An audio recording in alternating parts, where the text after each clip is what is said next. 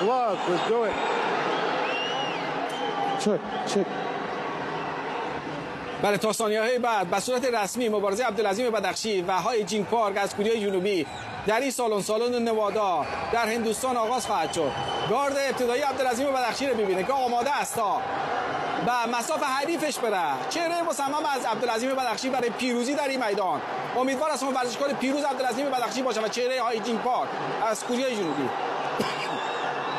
مسابقه شروع میشه. عبدالعظیم بدخشی و سه راوند پنج دقیقه از مشتای ابتدایی که عبدالعظیم بدخشی در حال وارد کردن و صورت حریفش است. عبدالعظیم بدخشی کنترل ابتدایی. برنامه خود داره حریفش را خاک می‌کنه. در همین راوند اول در همین ثانیه های ابتدایی عبدالعظیم بدخشی. پیروز میدان.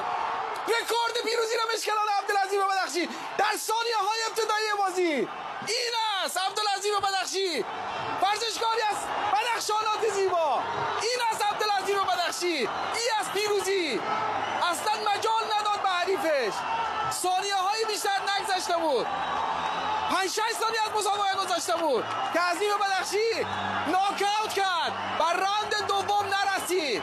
و دقیقه اول نرسید.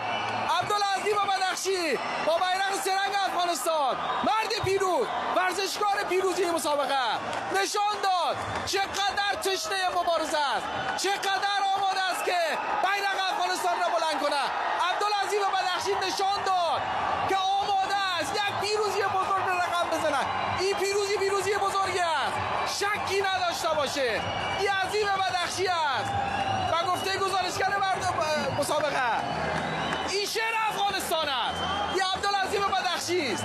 ورزشکار کره جنوبی حتی مجال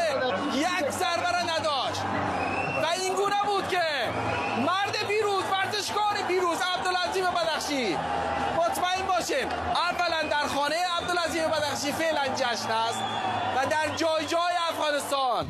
ببینه اصلا نگذاشت که حریفش ضربه وارد کنه.